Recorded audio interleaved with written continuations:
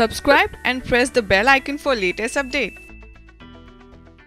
श्री राष्ट्रीय राजपूत करणी सेना 21 दिसंबर को विशाल रैली की चेतावनी सभा का आयोजन करने की चेतावनी दी है श्री राष्ट्रीय राजपूत करणी सेना के अध्यक्ष सुखदेव सिंह गोगा मेडी ने आज जयपुर में प्रेस वार्ता कर घोषणा की है कि सरकार की वादा खिलाफ से आक्रोशित सर्व समाज के प्रतिनिधियों के नेतृत्व में आगामी 21 दिसंबर को अजमेर के पटेल स्टेडियम में विशाल चेतावनी सभा का आयोजन किया जाएगा।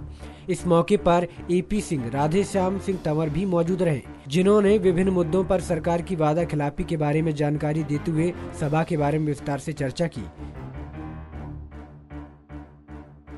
जिस दिन से फेक एनकाउंटर हुआ, ये वहाँ लगातार बैठे थे। मैं कहा गया था? देखा था मालूम समय इस बात को तो जो आनंद पाल सिंह और पीछे क्या क्या हुआ उस किस केसों में क्या क्या वादे कर दिए जाते हैं सरकारें तो जो सरकारों ने वादे किए हैं, वो जनता के दबाव में किए, वो जनता के क्योंकि जनता का दबाव कह सकते हैं, लेकिन वो सरकार तो जनता के द्वारा, जनता के लिए, जनता के द्वारा चुनी जाती है। जनता के द्वारा, जनता के लिए जनता की चुनी हुई सरकार है।